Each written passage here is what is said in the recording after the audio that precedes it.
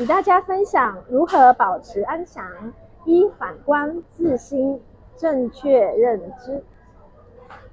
二、安详就是禅的血脉，生命与真实的内涵。三、阳气错误。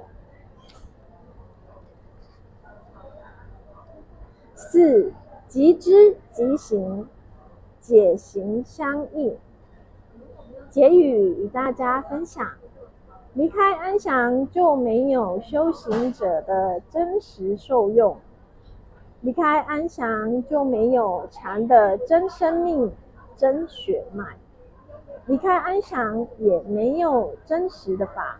所有的法都是在日常生活和人的内心生根的。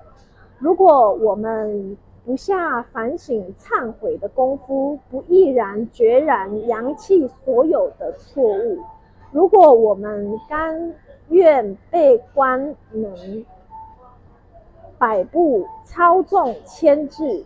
如果我们以联想、冥想、幻想为享受；如果我们对外在的事物惯于认同；如果我们习惯于发怒、破坏性的、消极性的情绪，不满、抱怨。愤怒、嫉妒、毁谤，我们将永远得不到安详。静心修持，感觉美好。希望我们修为自己的内心很重要哦。我们要成为一个安详的人。